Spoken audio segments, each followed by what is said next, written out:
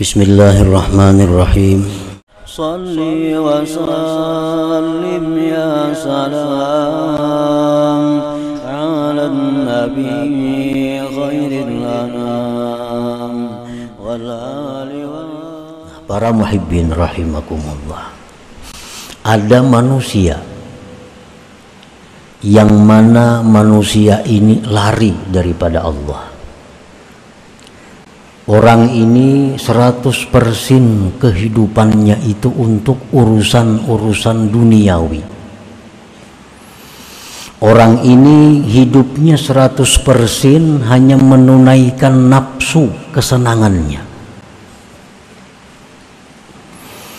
Lalu orang ini diberi Allah nurul bidayah. Diberi Allah nurul bidayah maka orang tersebut berbalik menghadap kepada Allah dengan hati dan tubuhnya. Orang yang selama ini maksiat kepada Allah. Orang yang selama ini suka berbuat dosa. Begitu diberi Allah nurul bidayah ini, maka dia tobat kepada Allah dia kembali kepada Allah. Orang yang selama ini lalai kepada Allah. Begitu diberi Allah orang ini nurul bidayah, maka orang ini selalu ingat kepada Allah Subhanahu wa taala. Nah, para muhibbin rahimakumullah.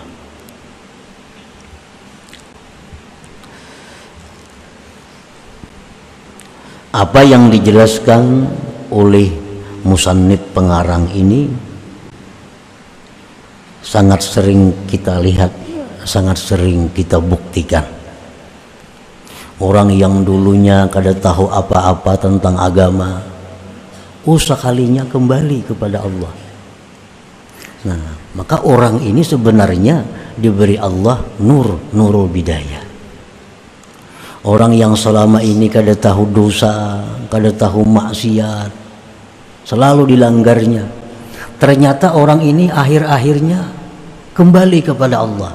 Nah, maka orang ini dapat pemberian Allah nurul bidayah itu. Nah, para muhibbin rahimakumullah. Kenapa sebabnya Allah Subhanahu wa taala memberi orang ini nurul bidayah itu.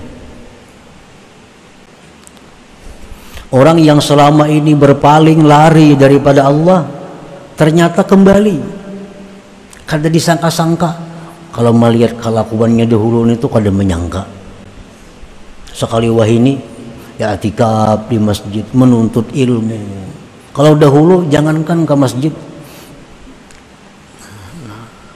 Tiba-tiba orang ini dapat nurul bidayah dari Allah. Nah, kenapa sebabnya?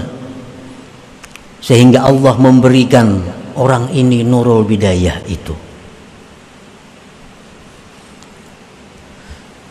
Para ulama mengatakan wadzalik imma bisababiz zurriyyati thayyibah. Ada kalanya itu sebabnya adalah orang ini punya zuriat yang baik, keturunan yang baik. Mungkin kainya kah dahulu orang saleh, datuknya kah dahulu itu orang yang wali. Apalagi Mbah Datun itu abahnya datuknya kah nang saleh umpamanya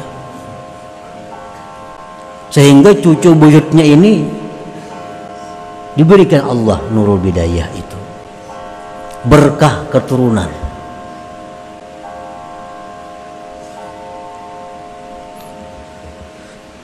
Allah Allah Subhanahu wa taala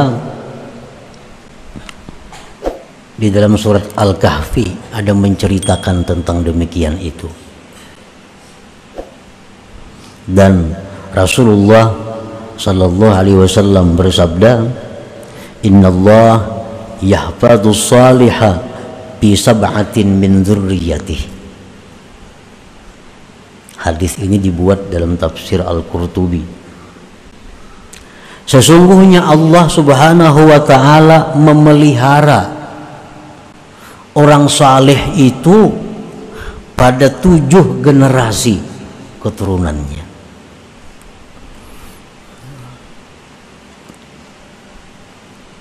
Nah jadi berkat keturunan itu berkat nenek moyang bahari itu bisa cucunya yang selama ini berpaling lari dari Allah dapat nurul bidayah. Ini akhirnya kembali taat kembali patuh kepada Allah Subhanahu wa taala. Au kasratis sadaqah. Sebabnya atau orang ini banyak sedekah. Orangnya ini sembahyang kada tapian sembahyang. Perbuatan maksiat komplit ulang semuaan dilakukannya. Tapi orang ini ada sebuting bagusnya ketujuh bersedekah. Nah ini nih ketujuh bersedekah. Padahal amun pekerjaannya gawiannya kada kawa dilihat. Cuma orang ini pemurah Nah berkat pemurahnya itu orang ini di akhir-akhirnya bisa diberi Allah nurul bidayah sehingga dia begitu akhir-akhirnya kembali kepada Allah Subhanahu wa taala sesudah sekian lama menjauh dan lari daripada Allah. Rasulullah wasallam bersabda tajapau an dzambis sahi fa innallaha akhidun biyadihi kulla ma'asar. Ujar nabi kita merengganglah kalian daripada dosa orang pemurah. Artinya kalau orang tuh pemurah berbuat dosa jangan dituruti. Jangan hendak dituruti karena orang pemurah itu Allah yang memegang tangannya. Sewaktu-waktu Allah bisa mengangkat dia dari ketergelincirannya itu. Hmm. Jadi kalau ada orang pemurah berbuat dosa, menjauhlah kamu. Jangan dikritik, jangan disambati, apalagi dituruti. Hmm. Karena orang pemurah ini mudah dan cepat ditarik oleh Allah kembali ke jalan yang benar.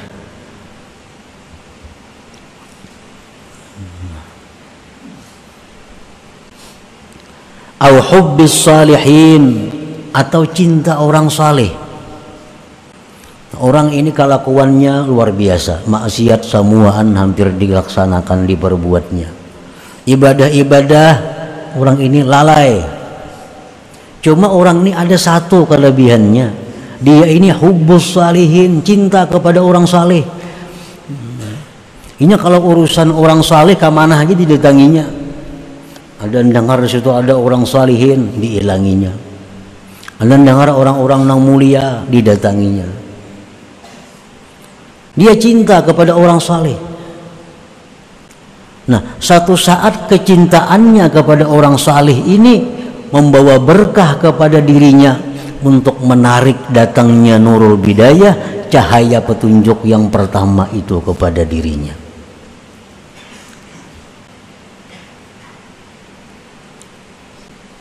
Orangnya sembahyang gin kada.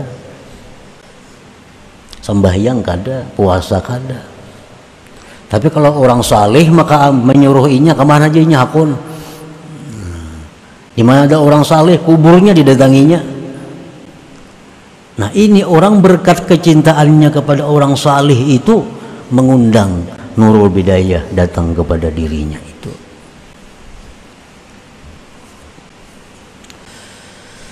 Awil ilim atau ilmu? Ilmu. Orangnya sekolah pesantren tamat. Kitab bisa membaca.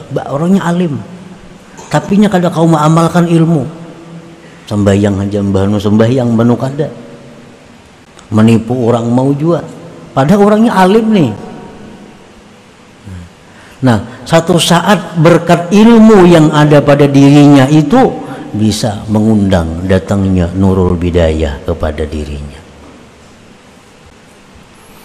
Rasulullah Shallallahu Alaihi Wasallam bersabda, "Ittaqu zallatal alim wantaziru fai'atah." Ujar Nabi, takutilah ketergelinciran orang alim itu.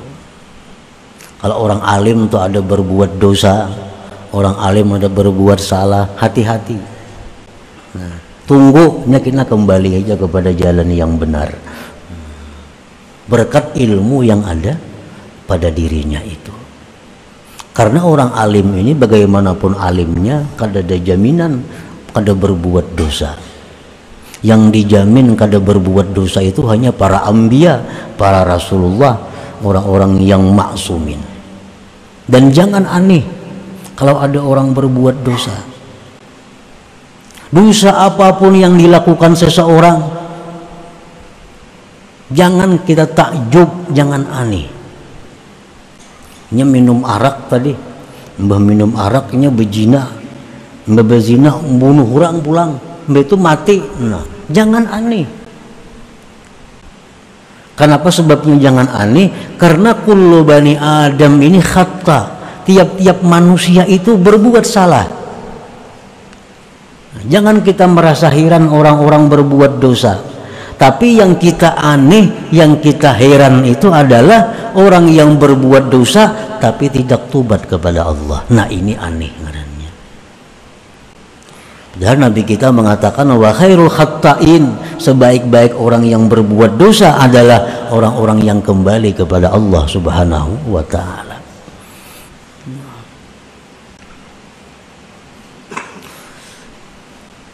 Au doa salihin atau karena doa orang saleh karena doa orang saleh nah, ini orang ini maksiat sudah luar biasa.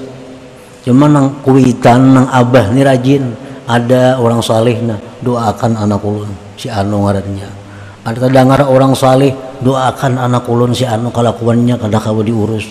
Ada terdengar orang saleh nah abah ini kasih itu kamari mintakan banyu minta doakan kepada orang saleh nah akhirnya ini bisa mendatangkan nurul hidayah nurul bidayah kepada kepada orang tersebut.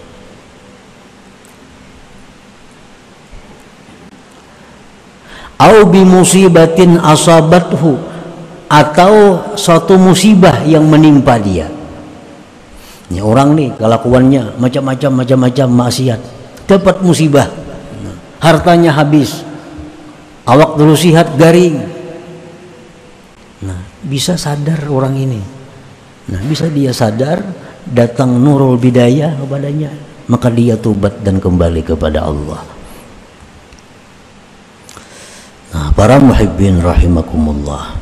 Jadi nurul bidayah ini cahaya pertama yang datang dari Allah kepada seorang hamba itu dapat merubah watak, merubah kelakuan hamba yang dulunya lari kepada Allah menjadi datang kepada Allah.